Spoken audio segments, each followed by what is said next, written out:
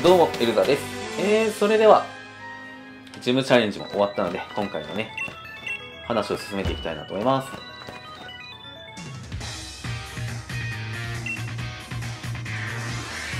おー、ポップ君続きだね。で、えー、ダイジェストは、今回パート5で終了となります。なのでね、えー、まあ、最後はね、お楽しみいただければなと思います。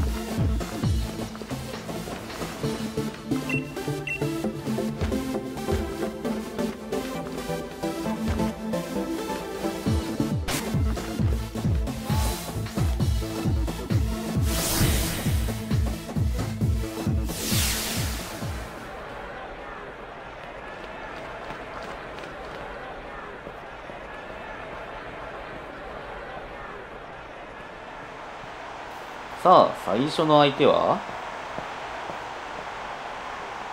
マリーだね。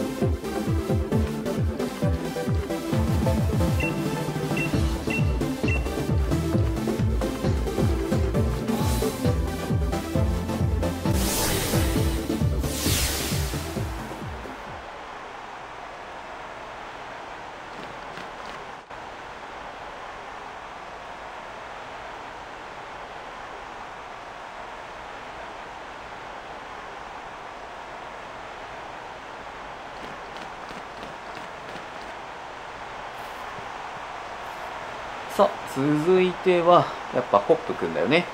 さあ、ここで、チャレンジャーの優勝者が決まると。まあ、推薦者同士で戦うことになるというところだね。まあ、負けられないというところか。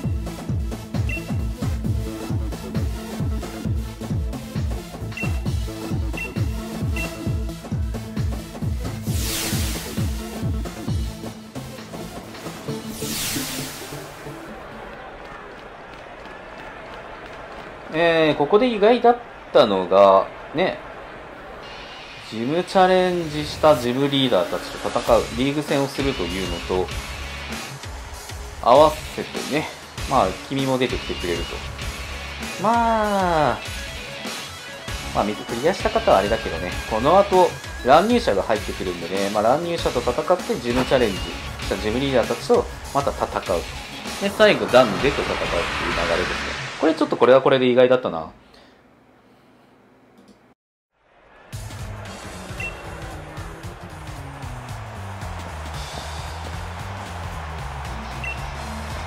さあ、ただ、やっぱりね、こんなにうまくいくことはないという感じだね。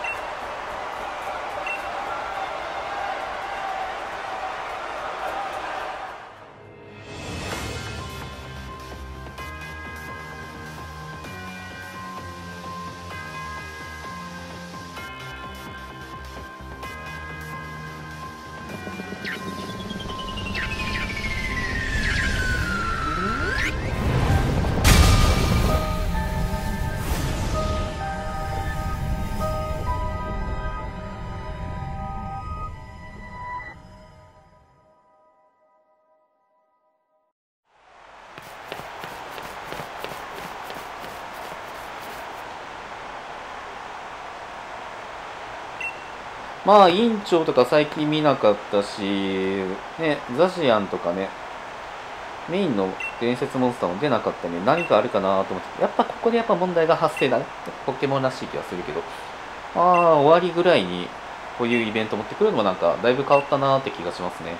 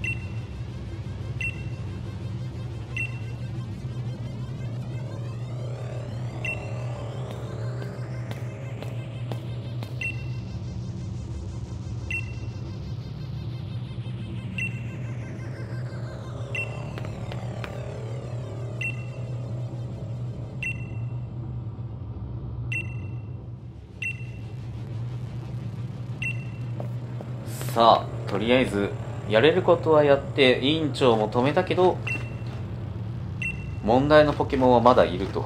まあダンデが止めるかなっていう気はするけどやっぱねここは主人公が止めに行っちゃいましょう。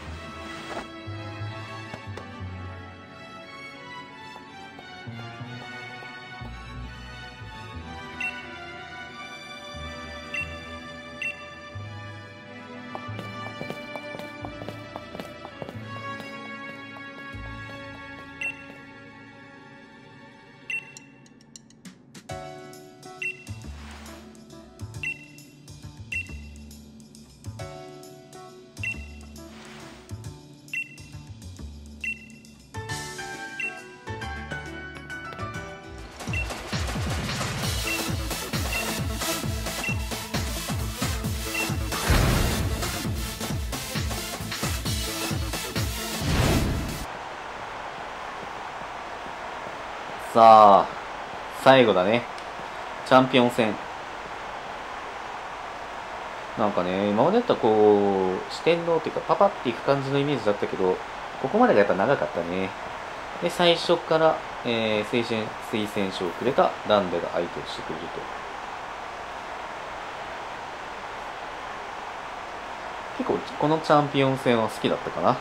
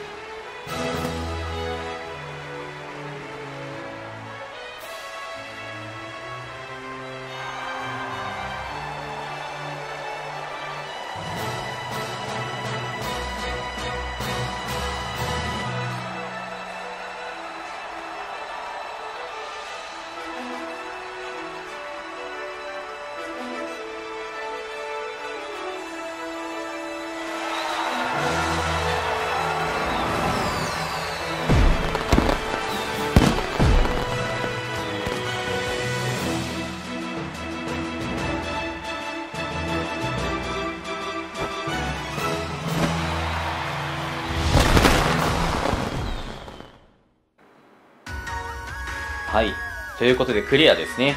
まあこれが基本的なソードシールドのストーリーになってて、あとはクリア後のまた要素もあります。まあもちろんザシアンとかをね、捕まえるっていうところになるんですけど、まあそれは実際にプレイして楽しんでいただければなと思います。それでは、えー、今回ここまでとなります。まあダウンロードコンテンツもする予定ですので、そちらも楽しみにしておいてください。それではここにご視聴ありがとうございました。良ければチャンネル登録、高評価よろしくお願いいたします。それではまた次回お会いしましょう。ほんじゃあ、また